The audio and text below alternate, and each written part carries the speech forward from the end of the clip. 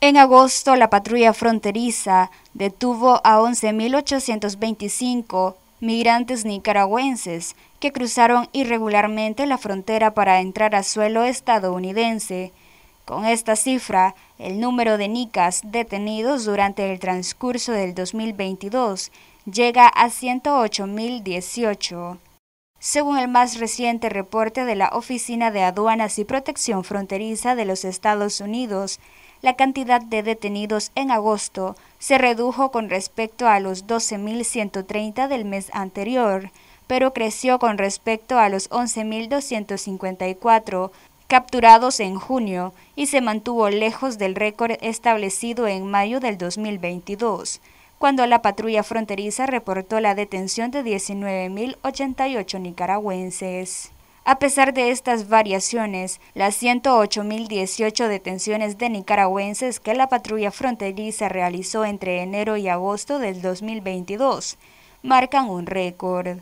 Este supera con gran margen las cifras de los años anteriores.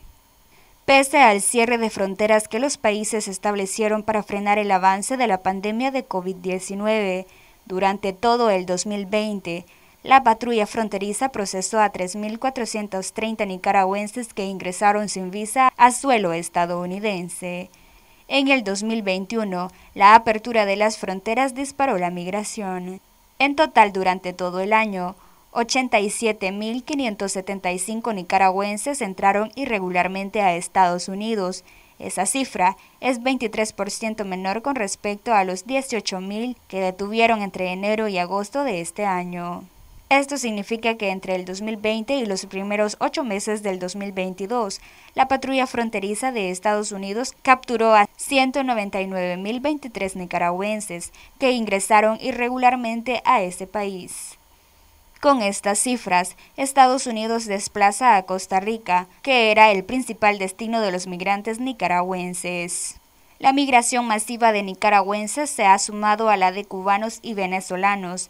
A ellos les siguen los guatemaltecos, salvadoreños y hondureños, que tradicionalmente han sido los que más migran hacia el norte. Según los informes de patrulla fronteriza, entre enero y agosto del 2022, detuvieron a un millón de personas que entraron a Estados Unidos sin una visa. La cifra se acerca aceleradamente a los 2 millones de detenidos en todo el año del 2021. Para Noticias 12, Luisa Centeno.